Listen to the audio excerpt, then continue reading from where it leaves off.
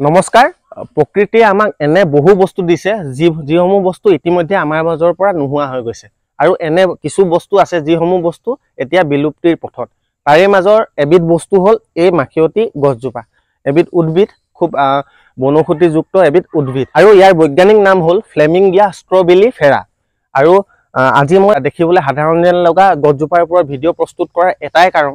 কাৰণ উন্নয়নৰ নামতে হওক বা নতুন ঘৰ বাৰী প্ৰস্তুতৰ নামতেই হওক এনেসমূহ গছ যিসমূহ গছ আমাৰ সংস্কৃতিৰ লগতো জড়িত আৰু ইয়াৰ বহু ঔষধি গুণো আছে। এনে বহু গছ বা এনে বহু উদ্ভিদ গছ গছনি আমাৰ মাজৰ পৰা নোহোৱা হৈ গৈছে। সেইবাবেই মই আজি এই ভিডিঅ'টো বনালোঁ যাতে উন্নয়নৰ নামত নতুন ঘৰ বাৰী পতাৰ নামত এনেসমূহ বস্তু আমাৰ মাজৰ পৰা নোহোৱা হৈ নাযায়। কাৰোবাৰ ঘৰত যদি এনেধৰণৰ বস্তুসমূহ আছে তাক সংৰক্ষণ কৰাৰ ব্যৱস্থা কৰক। কাৰণ নৱপ্ৰজন্মই এইসমূহ বস্তু আজিৰ তাৰিখত চিনি নাপায়। আৰু অনাগত দিনত এনেসমূহ বস্তু আমাৰ মাজৰ পৰা একেবাৰে নোহোৱা হৈ যাব।